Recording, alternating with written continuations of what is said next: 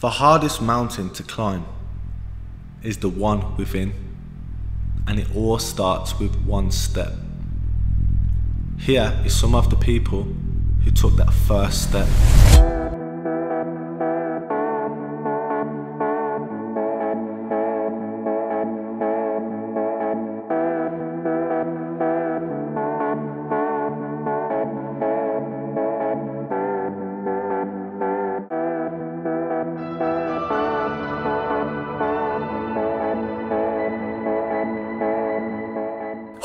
Welcome back. no, we're just, stop it a minute. Yo, it's like about to just, Nah, just lift off in these seats right now. Alright, then I'll start. Welcome to the Walk a Mile Shoes documentary. And I want to introduce someone very special, Marlon. And I'm going to let Marlon introduce himself a little bit and he can tell, can, say, can tell a bit of his story about himself. And I'm going to ask him a few questions. So, Marlon, for the people who don't know what you do and the great stuff what you do, give them a little introduction. And I've got a couple of questions here. Okay, my name is Marlon Patrice. I'm the founder of We Go Outside too, encouraging the black community and people of colour to get out in nature. So Marlon invited me and the crew down to one of his hikes. We packed our bags, we hit the road, and we drove all the way up to Leek to the Peak District.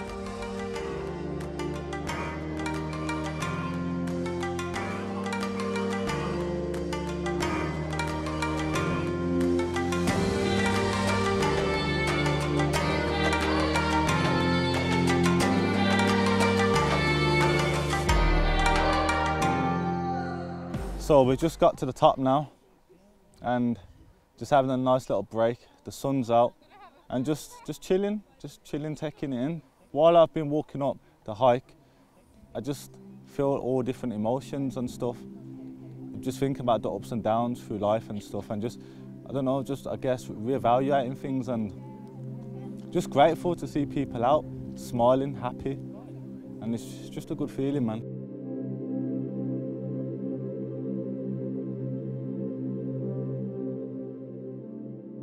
What, walks what and made stuff. you get into it? It was because uh, my son passed away. My son passed away last year in January. He, Sorry he was to hear that. stabbed. Yeah, he was stabbed last year. So that was one of the reasons why I started the, um, the actual movement, the actual project. It was a thing like because at the time I was dealing with, with a lot of trauma and I was using like nature outdoors like to like get over it and overcome it. And then the idea came came came around like that. yeah people yeah to to other people like traumas. yeah to pass their traumas because like people are locked down and people are fretting they might lose their jobs and so like everyone was going through something at the time. So i thought like yeah like put something together like for us all like to because it helped. It's been helping me. So i thought like yeah like get people other people on board like the right. I think my favourite part was when I took off my shoes. Oh, I took my shoes off. It made all the to, to come out here and just take a break from the city and just to go for a walk and see the mountains, you know, and it's just it's just beautiful, beautiful. But this is what life should be, though. Why, why should we be stressing? Why should we be running around and in all of that mad chaos, city life? I could be, you know, I could have been bitter about the whole thing, you know, but like at the same time, it was like, um, you know, there's there's things that you that are out of your control, and the only thing that you can control is your mind, the way your mindset is. So it was a thing about just using it as fuel to move forward. So and like turn it into a positive.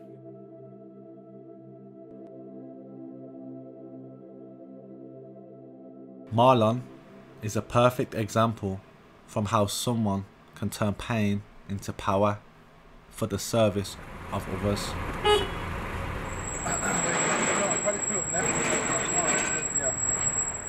So we're outside by Devante's house now. We've come on, we're about to pick him up, and we're about to go to where he likes to go to meditate, get away from the busy world, and just become one with nature. And this guy has a very, very interesting story. So let's see. Meet Devante, someone who's experienced the flip side of the coin. Devante was involved in a stabbing, which put a lot of things into perspective for him, and now is here to tell us his transition.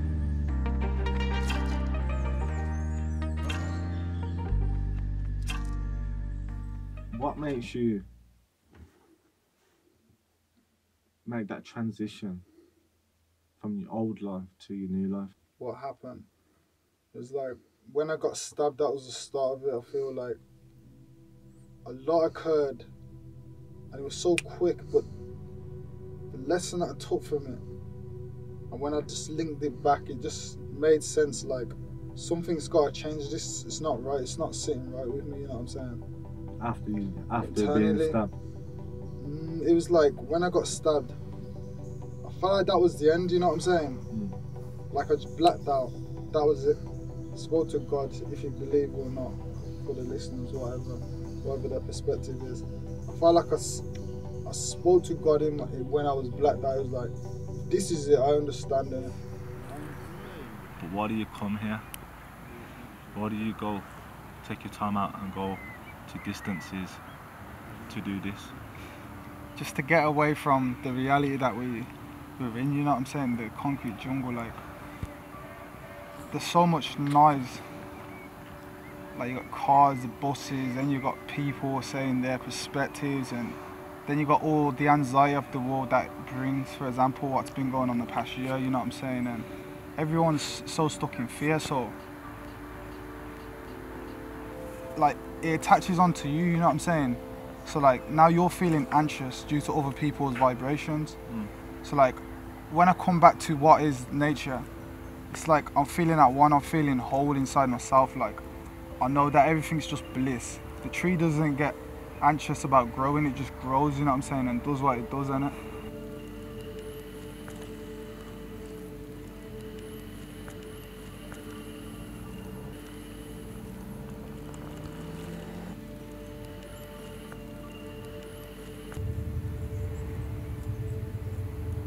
So like, so I just relaxed.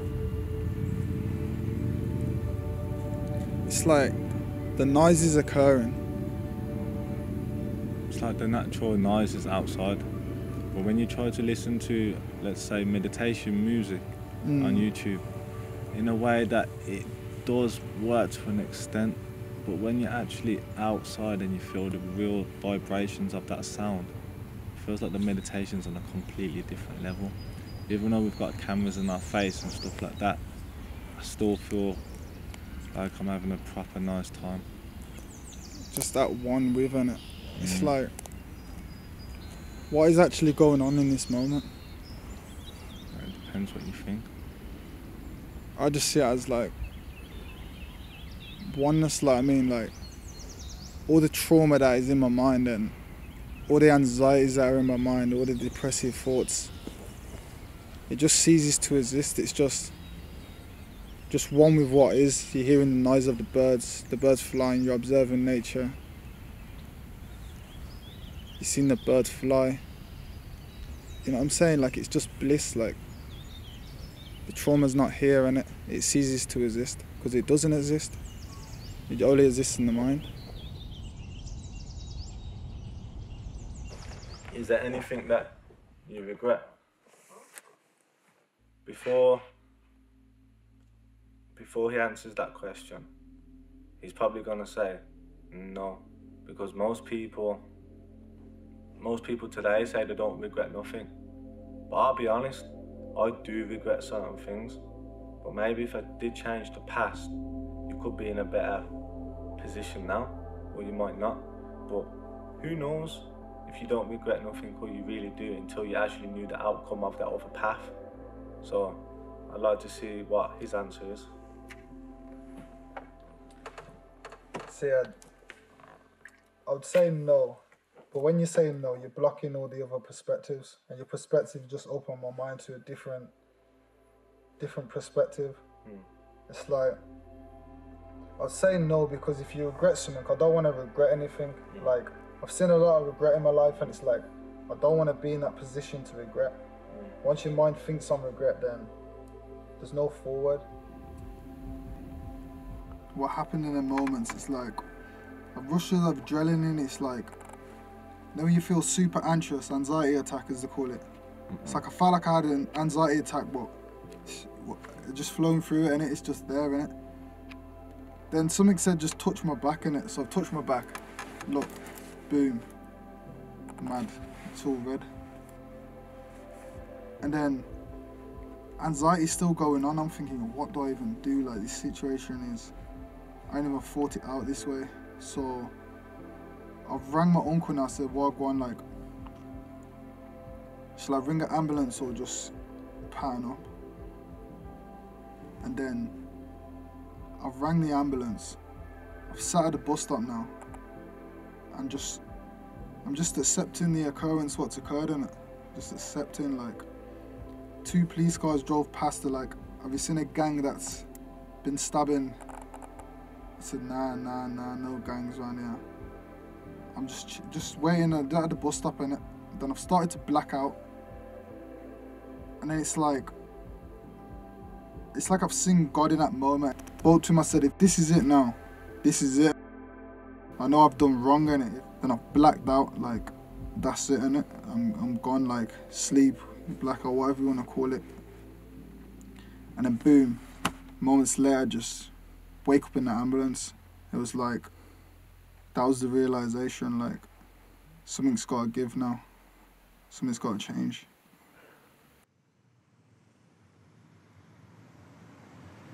So Kole, what are we doing today? We're about to go climb Snowdonia, and we've got a few people coming. We've got four people, and these four people are going through a few little things in life and stuff. So what we're gonna do, we'll get we're gonna get them to do a little questionnaire, see how they feel before the climb, and when they get to the top, we're gonna do the questionnaire again and see if there's any differences in the feelings what they've got. So Snowdonia was an idea we had. We gathered some people from all walks of life and walked the journey together while facing our own battles within. In the journey, we wanted to explore the harshness and beauty climbing the mountain, symbolizing life.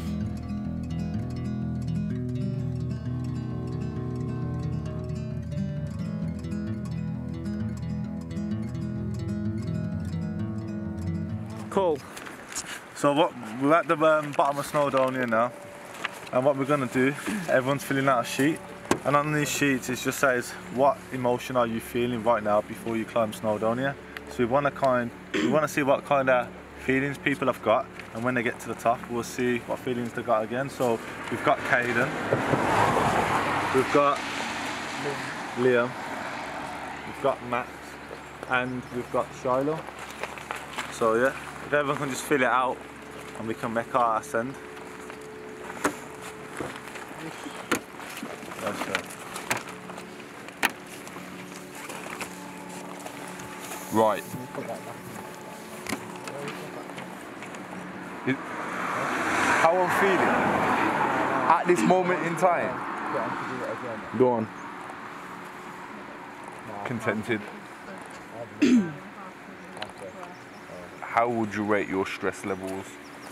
Um, I'm probably at about probably at about six.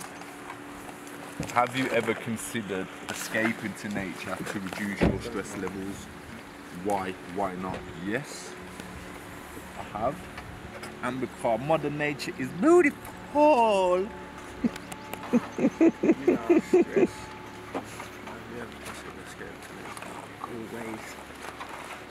So, Kole, while they're doing the uh, questionnaires, what is your opinion? How are you feeling if you had to uh, if you had to do the questionnaire? What would your answers would be right now? Um, with my emotion, how I'm feeling right now, I feel I'm, I'm content. Have I got any things on my mind? Yes. And do I feel stressed? Yes, I do feel stressed with a few things what's going on, what's going on with my personal life. So I'd like to see how I feel about this as well, climbing up. And plus, it's a good day out with good people and that. And um, how are you feeling? Give the camera, bro. How are you feeling? Well, um, you know what? Because I'm so excited to climb um, my first mountain, it's one of those things like I am, uh, I'm ready, but I feel contented. But like you said, do I have worries? I got loads. But it's one of those things like it's first step. I kind of see it as a very metaphorical thing. When I climb the mountain, it's gonna be. Uh, it's sort of like me conquering something bigger than me and I want to see how can I do this so as much as I'm a cameraman I want to be a part of this I'm gonna be joining you guys and uh, joining everyone in this beautiful journey. And I can't wait. See you upstairs. Peace.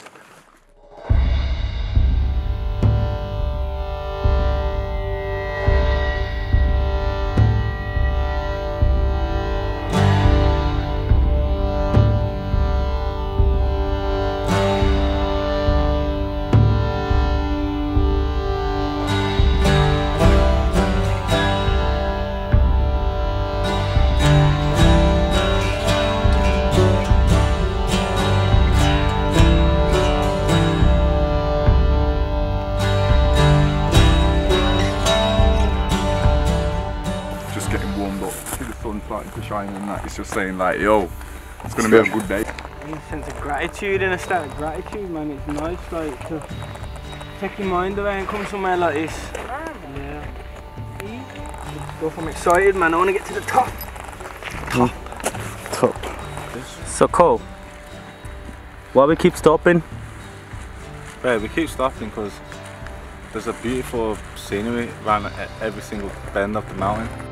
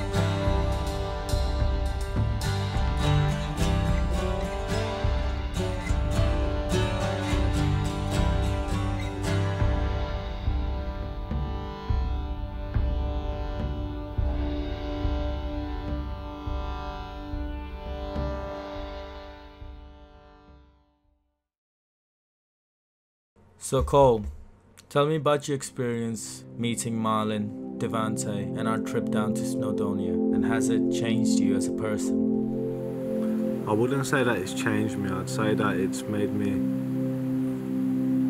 respect people's mindset to go to nature to deal with the trauma. Because when I used to go to nature, I used to go there to chill. I've never really looked at nature as a, a healing process. And just to look back at Marlon and Devante's journey, to see them, see how they use nature, it just makes me respect nature even more. But knowing you've been like, I don't know, let's say you've lost a family member like Marlon, or you're going through depression, or you're suffering from something, I didn't know that nature can really bring you back to life.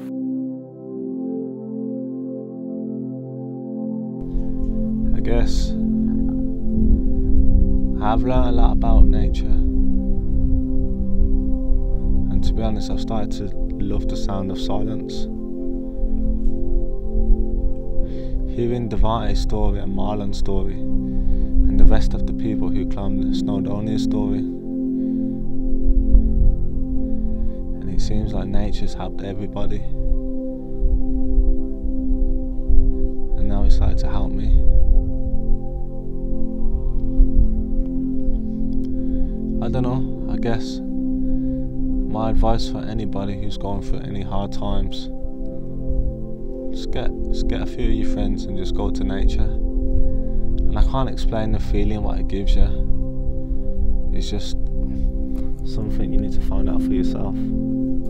Thanks for watching Walk a Mile in My Shoes.